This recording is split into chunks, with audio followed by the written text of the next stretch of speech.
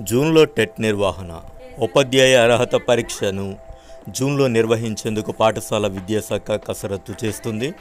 టెట్ను ప్రతి ఏటా నిర్వహించాలనే నిబంధన ఉన్నప్పటికీ ఉపాధ్యాయ పోస్టుల భర్తీ సమయంలో దీన్ని నిర్వహిస్తున్నారు. రెండు వేల పద్దెనిమిది తర్వాత రాష్ట్రంలో ఇప్పటి వరకు టెట్ నిర్వహించలేదు.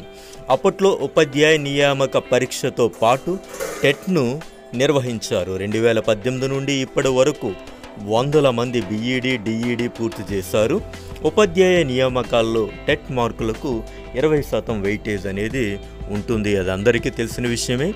అయితే ఒక పక్క తెలంగాణ టెట్ జూన్లో ఉంటుంది అని నోటిఫికేషన్ వచ్చినటువంటి సందర్భంలో ఆంధ్రప్రదేశ్ రాష్ట్రం కూడా జూన్లో టెట్ను నిర్వహించాలి అనే ఆలోచనలో ఉన్నట్టు తెలుస్తుంది.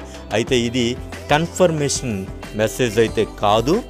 దీని గురించి కసరత్ అనేది చేస్తుంది తప్పించి స్పష్టమైనటువంటి నిర్ణయం అయితే ఇంకా వెలువడలేదు ఫ్రెండ్స్.